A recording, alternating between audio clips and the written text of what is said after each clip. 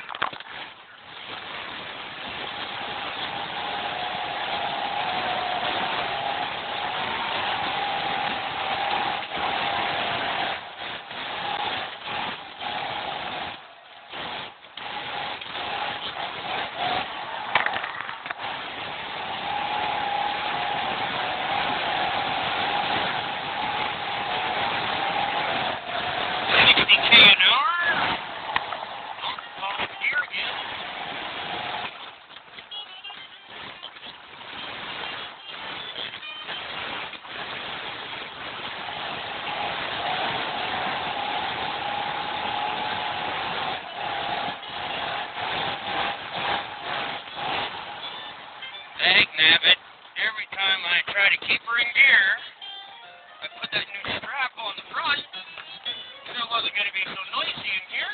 And of course, what happens? She pops her out of second gear all the time. So, without further ado, I'm going to go and have some more fun, and we'll catch.